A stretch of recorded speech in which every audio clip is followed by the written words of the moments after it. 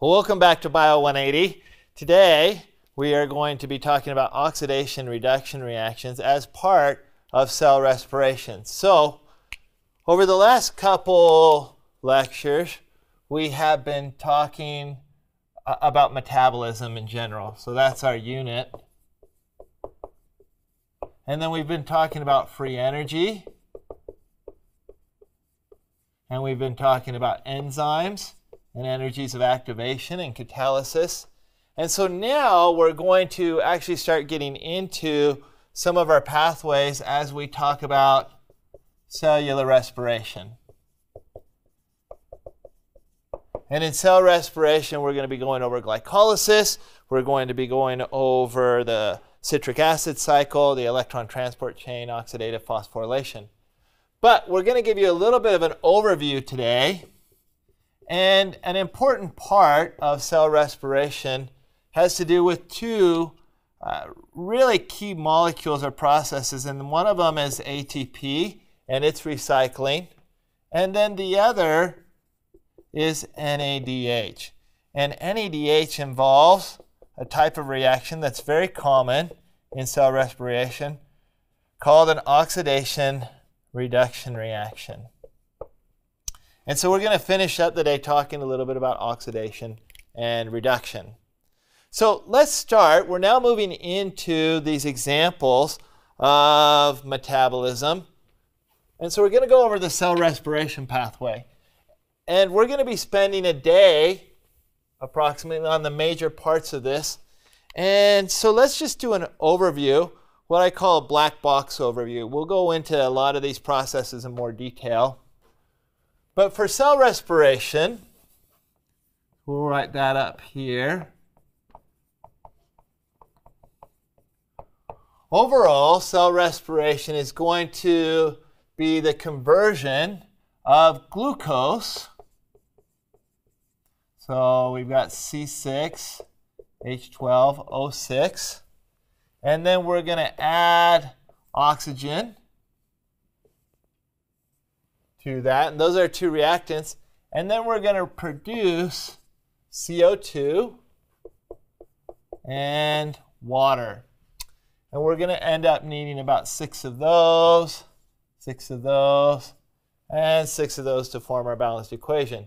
And so overall, this is the pathway for cell respiration. And out of cell respiration, what we get out of this, we're not trying to make CO2 or water. Those are just naturally things that come out of it. We're really trying to get energy. And that energy is going to come to us in the form of ATP. And then we're going to be able to use that ATP in all our other cell processes. So that's the overall process, but the steps of cell respiration start, so we're going to start our glucose with glucose over here. And the first step that happens is that that glucose is going to enter into a process called glycolysis. And on the other side of glycolysis, we're going to get a molecule coming out called pyruvate. That's kind of the main reaction. We've got glucose going in, pyruvate coming out. We got kind of this, I refer to it as a black box bunch of different chemical reactions happening in there. There are some other things that are going to come into glycolysis as well, and these will be important for us. So first, we're going to have some ATP coming into glycolysis at the beginning of it, and that's going to produce some ADP. We'll talk more about that later. And then on the back end, we have some ATP coming out. So we actually have some ADP coming in. And we're going to have some ATP coming out. And this is the main thing that we're interested in, is we're going to get some ATP coming out of it. we actually can put 2 and 2, uh, 4, and then we'll get 4 ATP out of it. There's also another molecule that starts to come into this and is going to play a big role, and that is a molecule called NAD plus is going to come in. I'll have a couple of NAD pluses come in, and they result in NADHs coming out as a product. So here's our main reaction. And then we have some other cofactors and coenzymes, we call them, coming in, of that, in and out of that reaction. With NADH and ATP being the main ones that are going to come out. The pyruvate, now as we follow, we're not done with cell respiration. That's just the first part of it. The pyruvate from this step actually has two places it can go. It can enter into another process that we call pyruvate transport.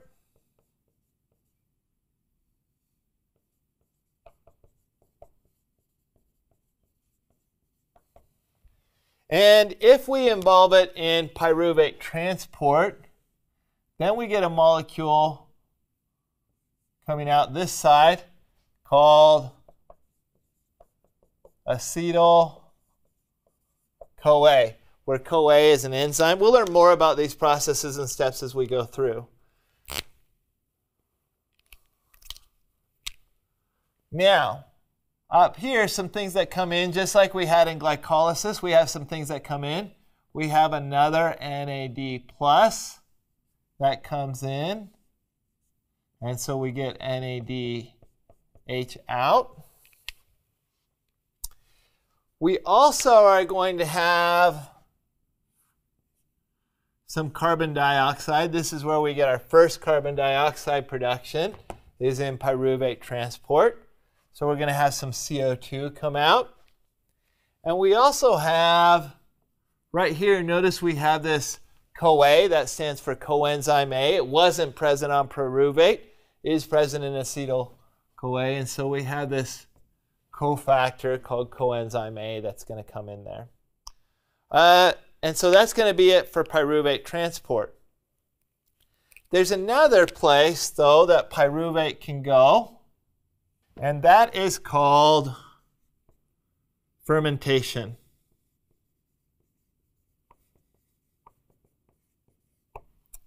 Okay, so when pyruvate enters fermentation, then the real point of it, there's a couple ways. Fermentation has two pathways that come off of it. So fermentation can produce acetaldehyde and ethanol. And then it can also produce a molecule called lactate. And which one you produce, whether it's ethanol or lactate, really just depends on uh, which pathway you have. Humans and other mammals have a lactate pathway. Yeast and uh, microorganisms uh, often have an ethanol producing. So this is alcohol.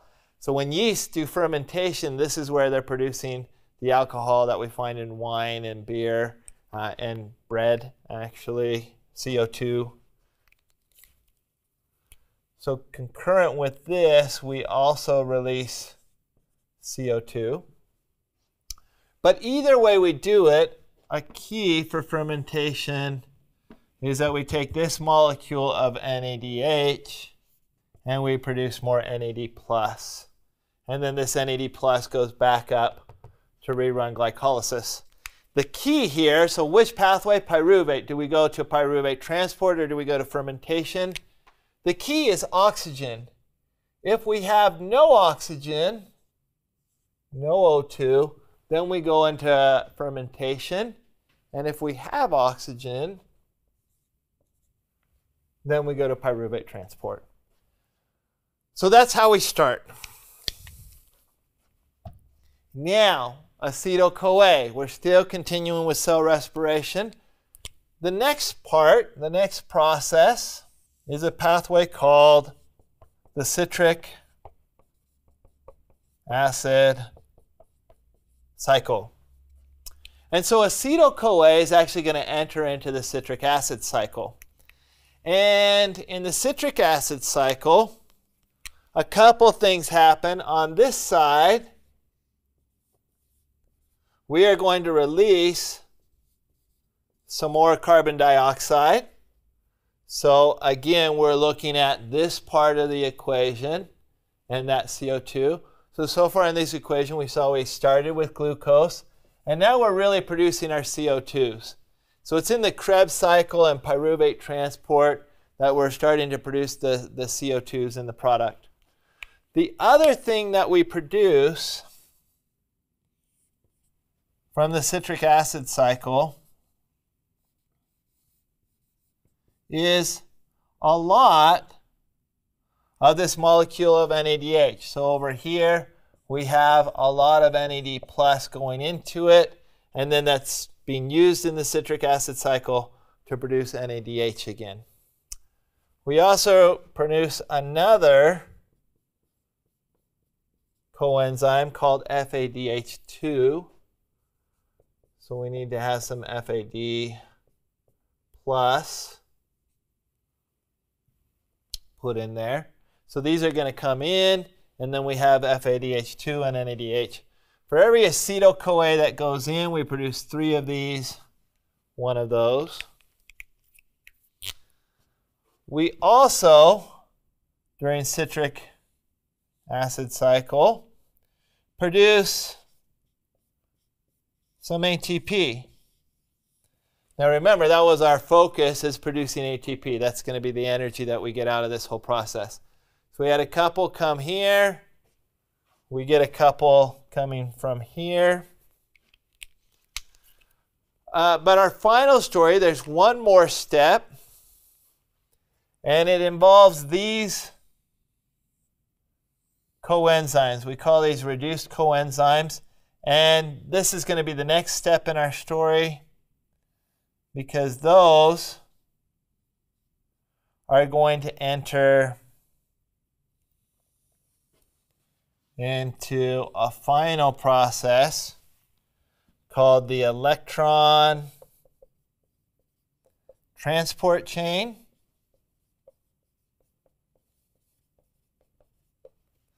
And so NADH and FADH2 are really, we'll go over this, we'll spend a whole day on this later on.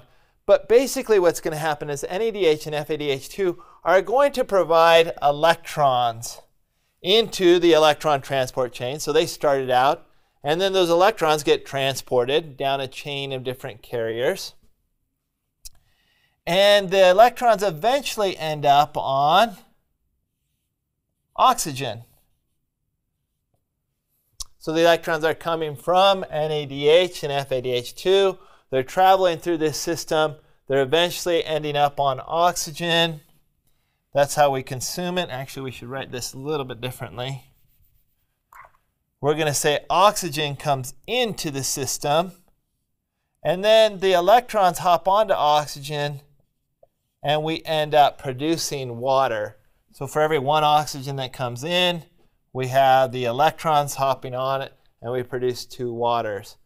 So that's how we input the oxygen that comes in during the electron transport chain and it's also where we are producing our waters. Another thing that we produce is a proton gradient.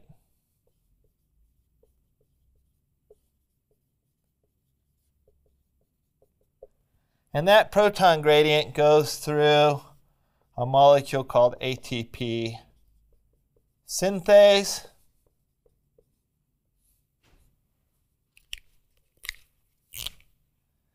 And we have ADP come into the proton gradient and ATP come out of the proton gradient. And this is where we really get this, we're not really looking too closely at the numbers in this, but this is the ATP synthase and electron transport chain is really where we get a lot of ATP coming out.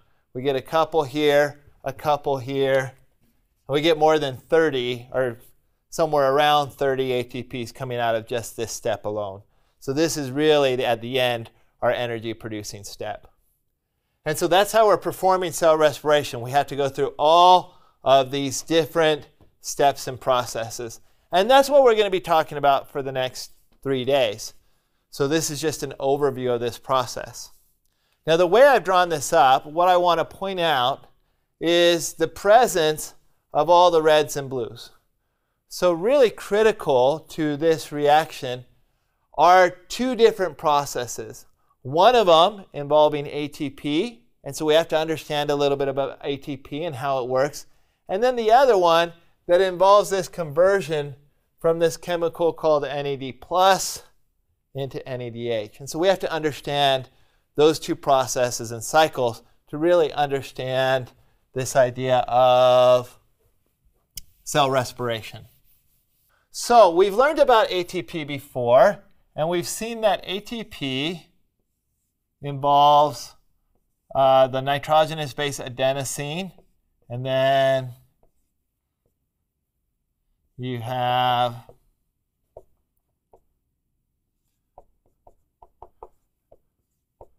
this uh, ATP is triphosphate, so we have three phosphates.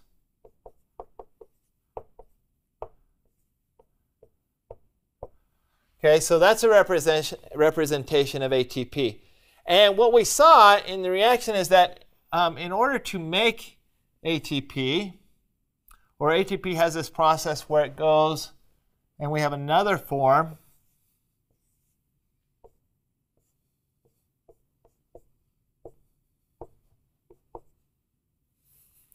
called ADP or diphosphate.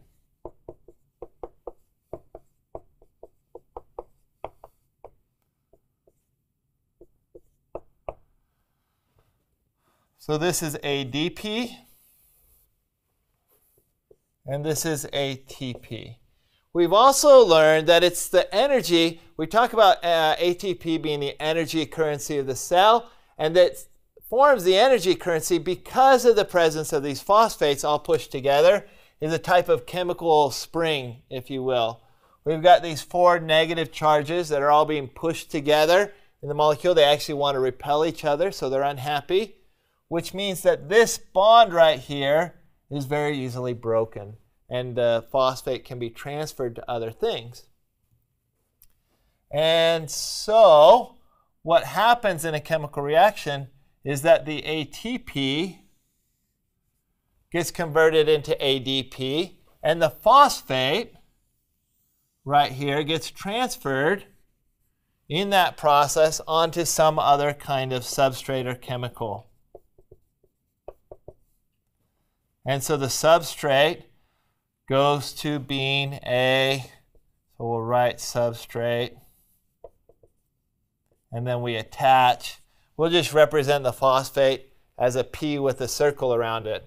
So here's the phosphate coming off, and that's why the phosphate isn't present over here. And this process then is called phosphorylation.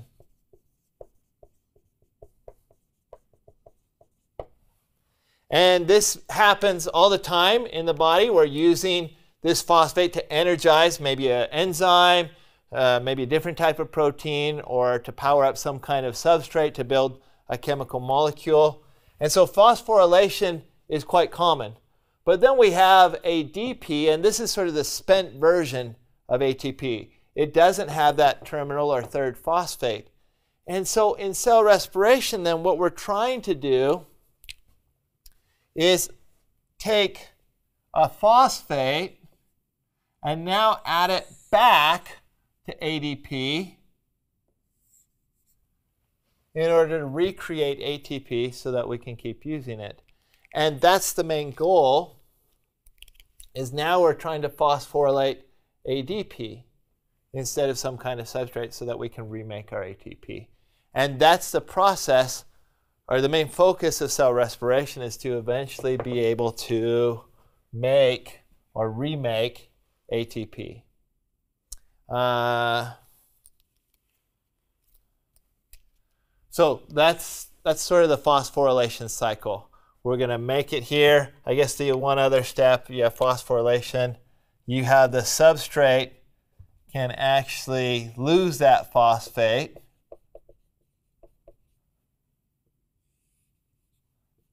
So the phosphate comes off as just a naked phosphate, and we call that dephosphorylation.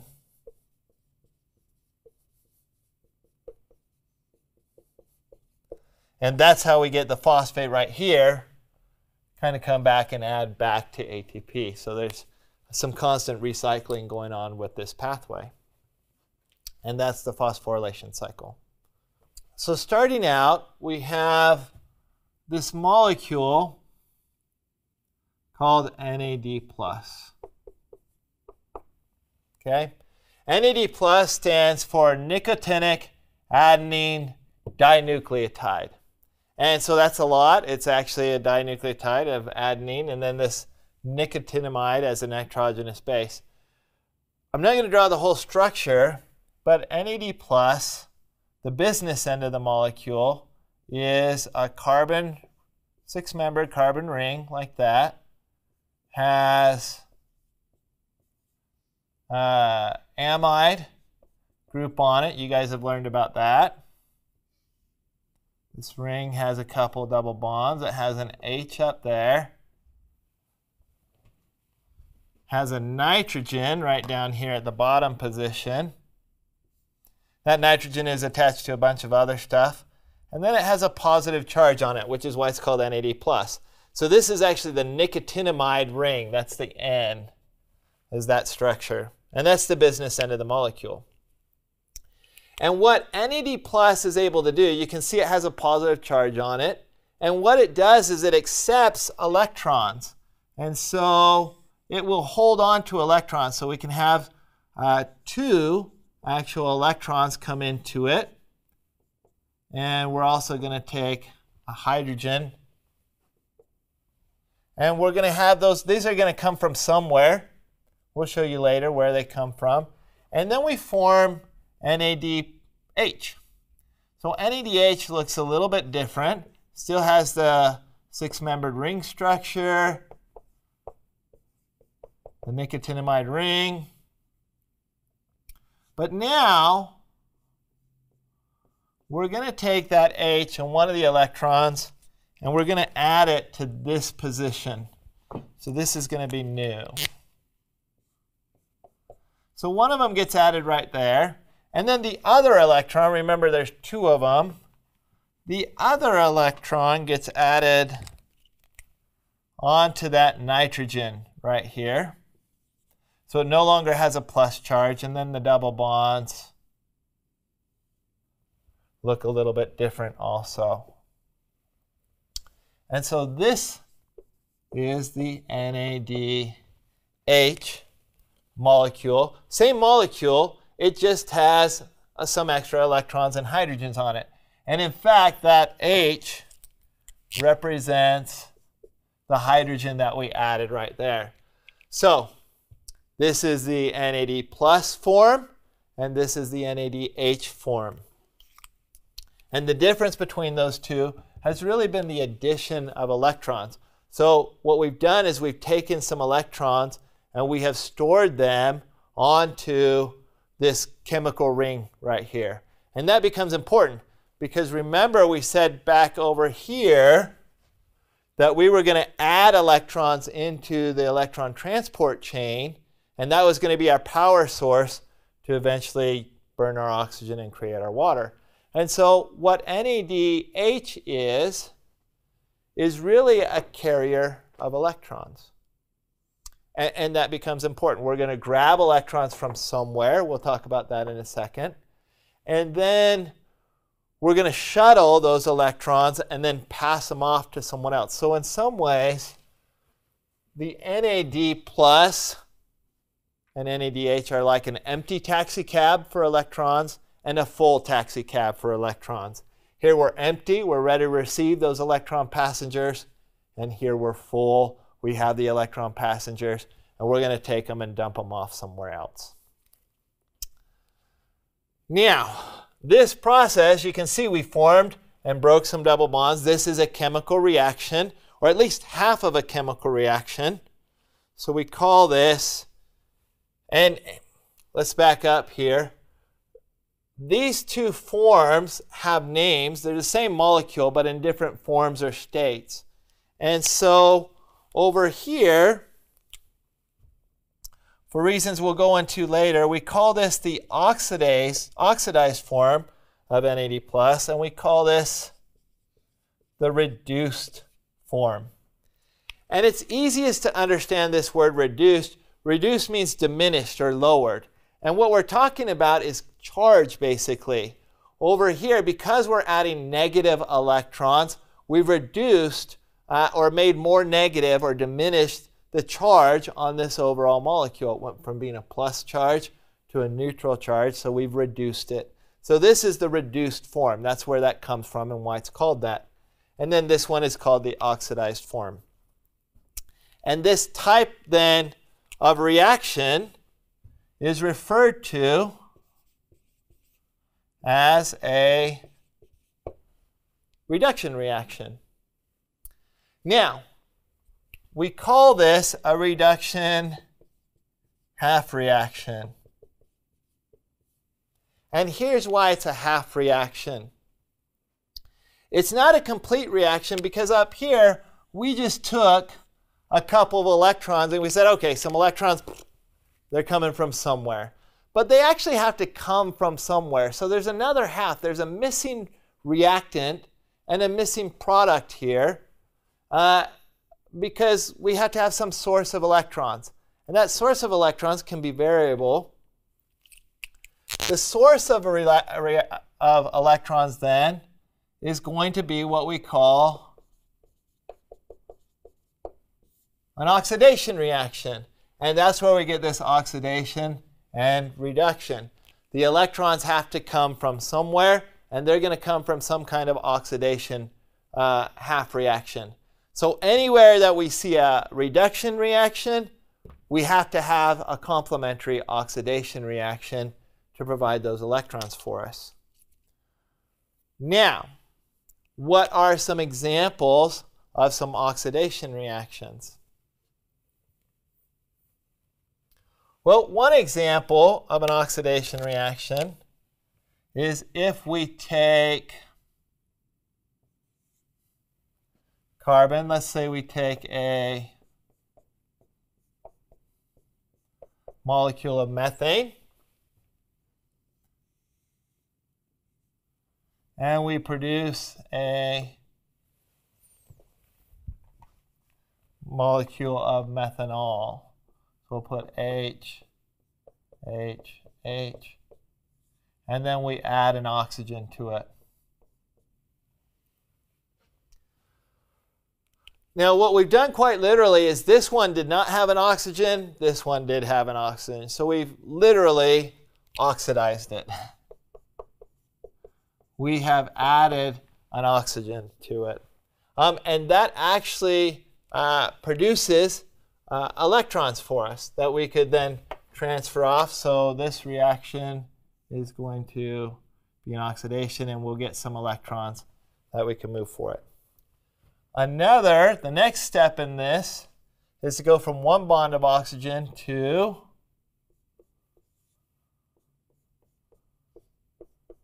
two bonds with oxygen. And so this is another oxidation reaction.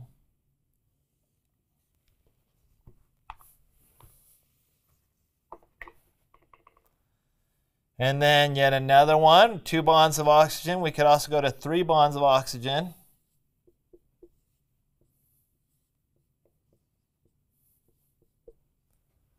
So that's another oxidation reaction. And the fullest form, if we have carbon and four bonds to oxygen, now we have carbon dioxide. And this is the most oxidized we can get. So all of these are examples of oxidation reactions.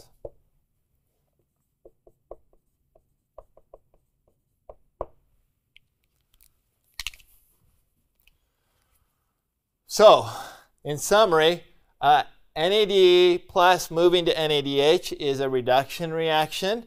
where we're receiving electrons from something, and then those electrons are being placed on here and they'll be shuttled. That's reduction. The reaction that produces the source of those electrons is our oxidation reaction. And so oxidation and reduction reactions always occur in pairs. When we come back over here to our chart, and we see that we've got some reduction. We've got NAD plus going to NADH, so that's a reduction reaction.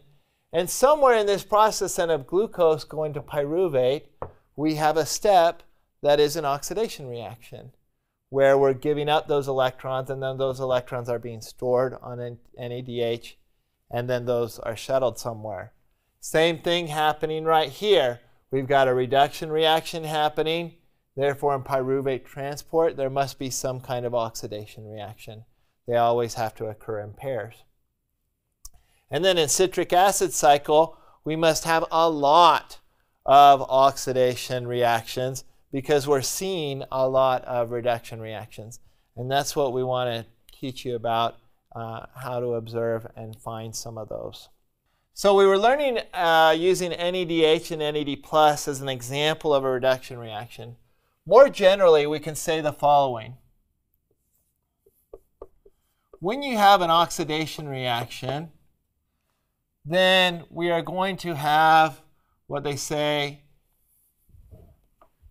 Oxidation is loss of electrons. And that's the definition of an oxidation half reaction. Something is going to be losing electrons. So you're going to have some kind of chemical. It's going to be losing electrons coming off of it. And so then you have it's now lost electrons, and now you have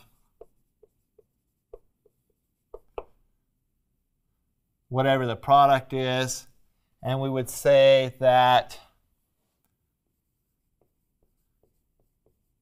this is the re reduced form of the reactant, this is the oxidized product, because it lost electrons. Someone then gains electrons also. These electrons have to go somewhere. They can't just hang out uh, somewhere. So you have some other chemical. And it now has to gain those electrons.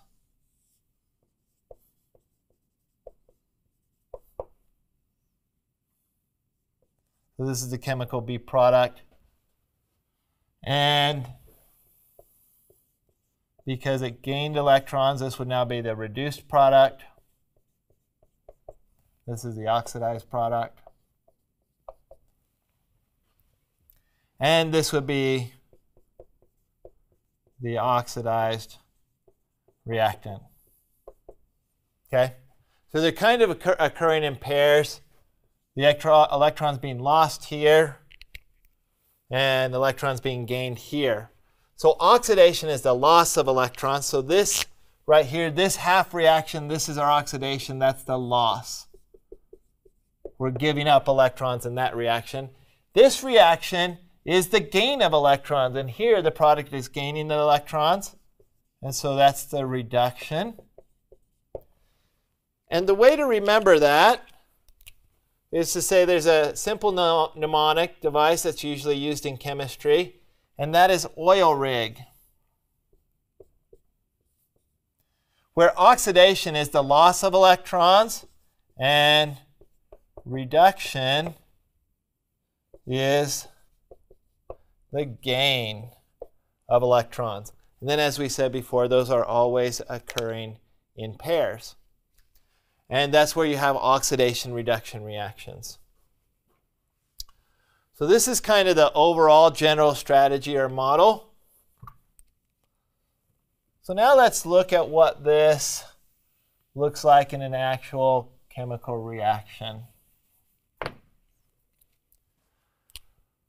Don't worry about the structures too much. We'll learn these later, but this will introduce you to them in the citric acid cycle, there is a uh, reaction where we take a molecule called malate.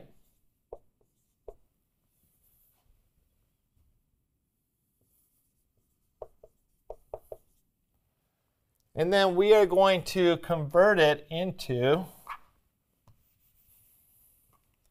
need to show the hydrogens here. And malate then gets converted into another chemical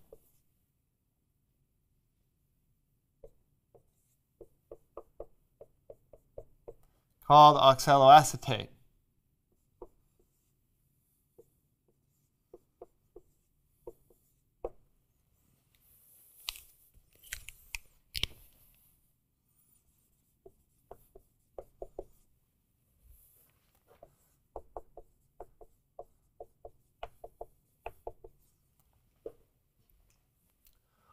All right.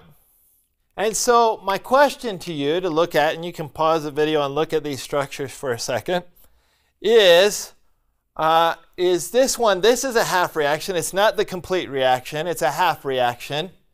And the question is, is this an oxidation or is it a reduction? And how would you tell?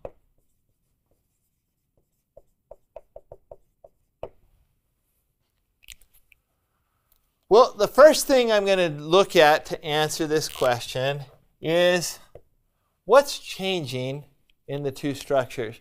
And this is a skill that we want you to learn. We're going through all these chemical reactions. We are going to be looking at the chemical structures of some of them. We want you to be able to notice and compare and contrast chemical structures. We've talked to you about that in past lectures. So as you look at these two molecules, the first question you have to ask yourself is what's happening in this reaction? How does the reactant differ from the product? And so hopefully as you look at and compare these structures, I guess we forgot a negative charge, but when you look at them right to left, you're seeing that this first carbon, nothing's really happening to it. It's a carboxyl group in both cases. The second carbon right here has two hydrogens on it two hydrogens on the second carbon. Nothing's happening there. Over here, we've got a hydroxyl group and a hydrogen. And then over here, we've got a carbonyl group. And so that's something different. So that part of the molecule is what has changed in our chemical reaction. And then we see that the last carbon in both cases is a carboxyl group. And so now we look at this and say, what has happened at this carbon and has it been, is this molecule the product, has it been oxidized or has it been reduced? Did it lose electrons or did it gain electrons? And ultimately, sort of what's happened in this reaction, a, a key trick, so maybe we won't go into the exact reaction dynamics. I'm just going to give you a quick uh, trick that will work for a lot of these different types of reactions, and then we'll see. The key point here is if I look at this carbon, the question I ask myself is, has it gained bonds with oxygen? Remember, oxidized. It's not always the case that it gains bonds with oxygen, but that's a quick way to, to determine if it has gained them, then it has been oxidized. And if it's lost them, then it's been reduced. So here I have one bond to oxygen, and here I have two bonds to oxygen. So I've gained bonds to oxygen, therefore I've been oxidized. So right here, then this is the oxidized product, and we would say that this is an oxidation reaction. Okay? And we actually did lose some electrons here. So you can think of it as what really happened. We got to redraw this a little bit. And instead of showing the bonds, let's show some electron pairs here. What's really happening in this reaction is that this hydrogen actually comes off and forms an H plus over here.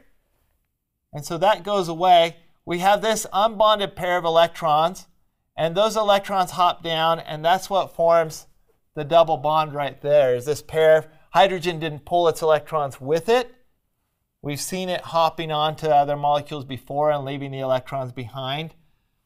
And so that's where the double bond comes from.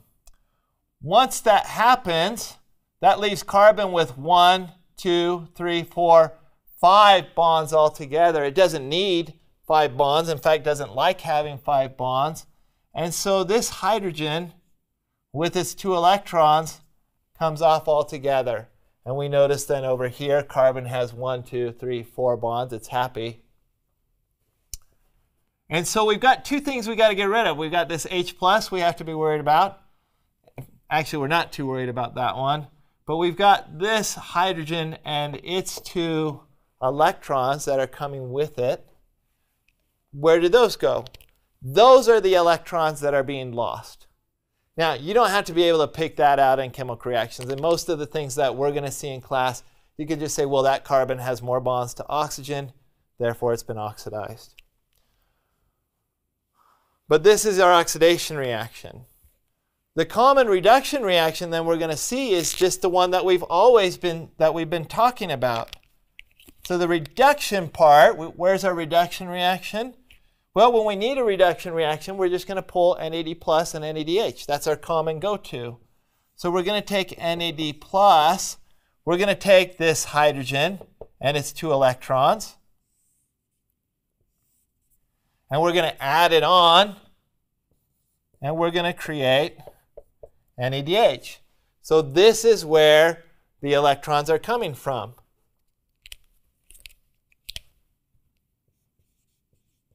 And that is our reduction reaction. We're done. So now we have an oxidation reaction. We had some kind of organic molecule that got oxidized. And then NAD plus to NADH is really going to be our most common reduction reaction.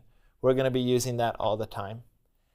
And so that NADH is loaded up now with its electron passengers. And those electron passengers are what we are going to dump into the electron transport chain. Ultimately, those electrons are going to flow, and the electrons are going to be used to reduce oxygen and form water. Okay? Another quick trick on reduction reactions. Just like oxidation, the oxidized product has more bonds to oxygen. Reduction often involves more bonds with hydrogen. So notice right here we have more bonds with hydrogen. We have an extra hydrogen bond there. And that's an indicator that this would be a reduction reaction. Okay? Ultimately, right here, we can kind of see the same thing with this water. The water, oxygen, uh, is forming the water right here, and this is a reduction reaction. We're being reduced. We're adding electrons to it. Okay, so it's gaining electrons, just like we've said over there. So we're going to see these oxidation reactions occur all over the place. This reaction happens in the Krebs cycle. We'll see it when we study the citric acid cycle or Krebs cycle in more detail. And then we'll see reduction reactions happening all over the place. For our final topic of the day on oxidation and reduction reactions, uh, we want to talk about oxidation reduction energetics. Remember, oxidation reduction reactions are are types of chemical reactions. And so they have a delta G associated with them. And that delta G can be calculated. And we're going to teach you how, based upon uh, something called a uh, reduction potential, you can calculate the delta G.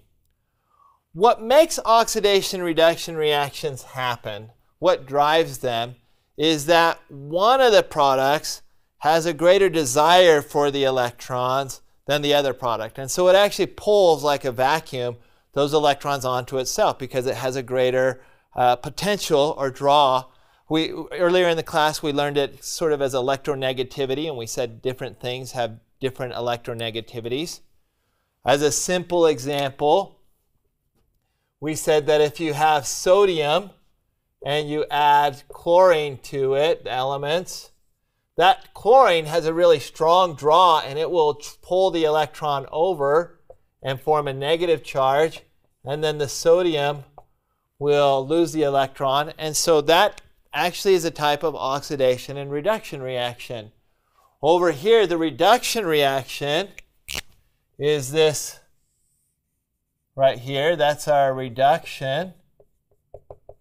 Because remember, we have a gain in electrons. That's our half reaction. We've gained an electron. And then the sodium, during the course of the reaction, has actually lost an electron. And so it's the oxidation half. And so we can actually, for any given half reaction, we can calculate how much, for example, the chlorine wants an electron and put a value on it.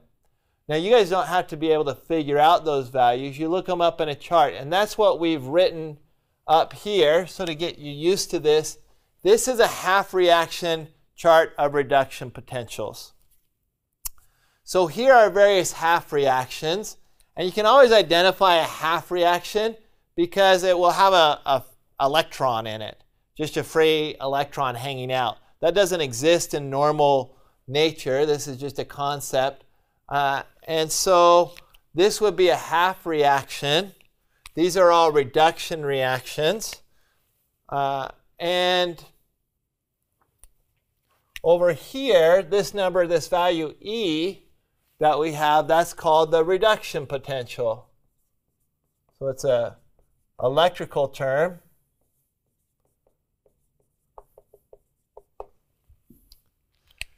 And so we can use a table like this uh, to calculate the energetics or the delta G, which you guys just learned about, for any given reaction. So here we have the half reactions, but we can combine these to make a full reaction and then calculate the delta G for that reaction. Now, a little bit, these weren't drawn up here randomly. All of these are components or half reactions that take place in the electron transport chain. Okay, and they're ranked up here somewhat in order. So we know that uh, from our previous drawing, we saw that uh, NAD plus, or really NADH, was coming into the electron transport chain. Here's oxygen and water. We saw that reaction. And then in here are a whole bunch of different intermediates that you're going to learn about. Even though you don't know them now, don't panic. But you'll learn about something called ubiquinone. And there's a complex 3. And there's a cytochrome C. And a complex 4. And then oxygen. So these are all just different steps in the electron transport chain, intermediates that we'll go through. And we can combine these, and I'm going to show you how to combine them in order to determine a delta G for any reaction. So let's start out with the reaction. Um, we know that overall, the electron transport chain, we said takes in NADH, and then we also know that it adds oxygen to it. And we have a chemical reaction, and we produce NAD plus and water. Now, the question is, does that reaction happen? Does it have a positive delta G? Does it have a negative delta G? And how much? we can use this chart with this formula up here in blue to calculate what the energetics or the delta G of that reaction is. So the first step that we do use in doing that is we have to identify two half reactions that we can then combine to make a full reaction. So we have to identify the right two half reactions. So I have to find two half reactions in my list that have my right products and reactants. Well, that's not too hard. I've got oxygen up here and I've got oxygen right there. So that's one of the half reactions. And then I've got NADH and NAD plus right here. That's going to be the other half reaction. So that's the first step is just to identify the two half reactions that I need. The next step is in a chart like this, they're always written up as reduction reactions. So one of them, remember, anytime I have a full reaction, I have to have both a reduction and an oxidation reaction. But I only have oxidation or reduction reactions, and so that's going to be kind of tricky. But here's how you work, how it works. I am going to flip one of the reactions to create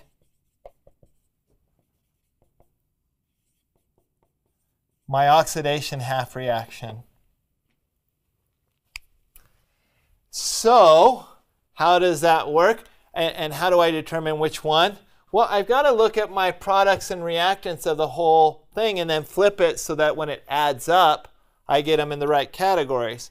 So when I look over here, I've got oxygen on the reactant side, water on the product side, oxygen and water. So that one's in the right orientation. So I can write that first one just up and say 1 half O2 plus 2H plus plus 2 electrons gives me water. So that's perfect already. It's already set up. The next one, though, NAD+, plus, if I write it in this form, then I'll end up with NAD plus on the reactant side, but that won't match the NADH in my full reaction. So that's the one I have to switch. And I'm just going to switch the whole reaction. Here's the key. I can do that. That's perfectly legal to do. We can make any oxidation reaction or reduction reaction when it's flipped or reversed then we get a, uh, sorry, let me start over. When we take a reduction reaction and flip it, it turns into an oxidation reaction. So I'm going to reverse that. I'm going to say NADH plus, or just arrow, gives me NAD plus, plus H plus, plus two electrons, and I'm good. Now, there is one trick to that, and that has to do with the reduction potential. The reduction potential is calculated for the reduction. So if I flip the equation, then I have to change the sign of the reduction potential. And that becomes important because we're going to need this thing called the change in electric uh, in reduction potential. So over here, I didn't flip this one. The reduction potential is 0.816 for this half reaction. Over here, I have to reverse this one. So instead of a negative 0.32, I get a 0.320. Okay? And then this actually doesn't become delta. This is the sum of. So now I just add everything together.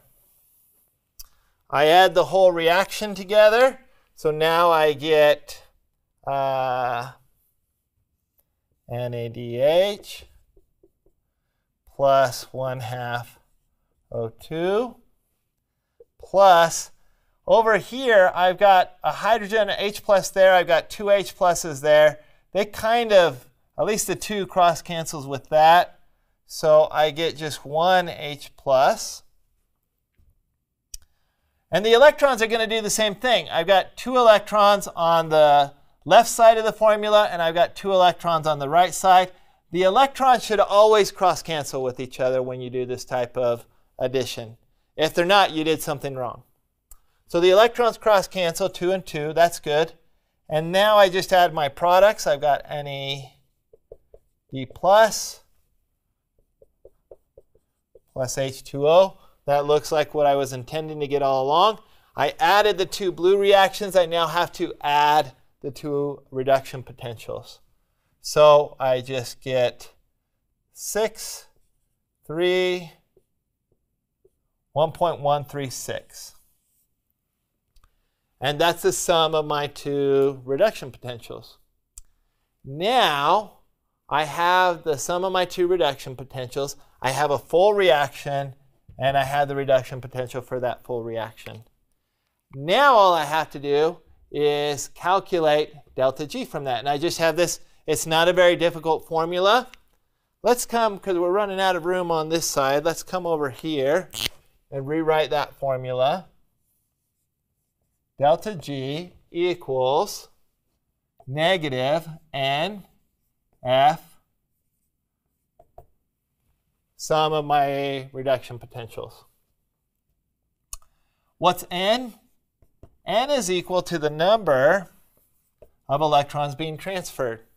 In this reaction, it's the number of electrons I crossed out, which was 2. So in this one, in this example, it equals 2. Capital F equals the Faraday constant. And this would be given to you in any formula, and that equals 96.5, I believe it's kilojoules, kilojoules per volt, per volt mole. And my reduction potential, that's what we calculated over here by adding those two equations together. So that is 1.136. And then we just calculate delta G from that. Then it's just multiplication. So I have a negative 1 point, or negative 2 times 96.5 times 1.136 one, three, six. And I don't have my calculator here, so I'm just going to kind of estimate a little bit here. I've got two. We're going to say this is roughly 100, and this is roughly 1.1. And so I'm going to get about 220 kilojoules per mole. Units right here are volts. The volts cross cancel. And in fact, let me make sure I have that right. Yeah.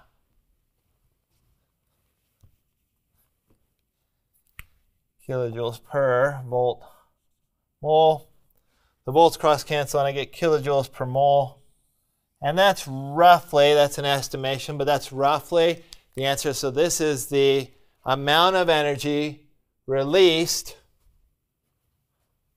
when I combine NADH and O2 together. If I were to burn NADH2 with or NADH with oxygen directly, I would produce about 220 kilojoules per mole, which is actually quite energetic. Uh, we get a, a big release of energy. Oh, we forgot this negative sign. Don't forget the negative sign because delta G is negative, it's exergonic, and actually quite exergonic, uh, and produces a lot of energy. So we've done seen just from this simple calculation that going from NADH to oxygen to make water is a very energetic process, and we're going to use this to make ATP. Okay, and, and that's the basis of doing this. You can calculate each one of these steps see whether it has a positive or negative delta G and how big that negative delta G is. So to review, we identified the two half reactions. We flipped one of the reactions to create an oxidation reaction. We then are going to add the half reactions and add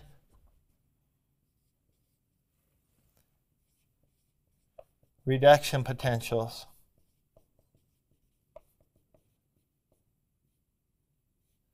I guess we need to, in step two, go back and say, we'll say 2b right here. We need to flip or invert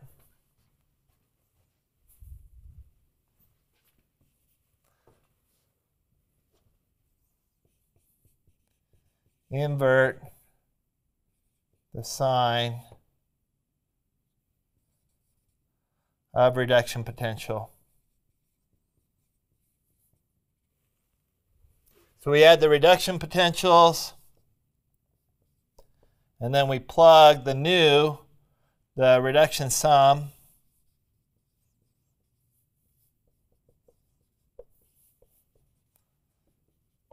into our formula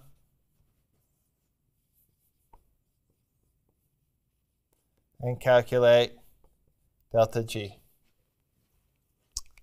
And so that's how we're going to use a half reaction table to calculate the delta G of really any reduction, oxidation, reduction reaction for which we have the half reaction and reduction potentials for. And so we're going to wrap up with our exploration of oxidation and reduction there. Next time, we'll be talking, really diving into glycolysis and looking at the different steps and what happens in glycolysis biochemically.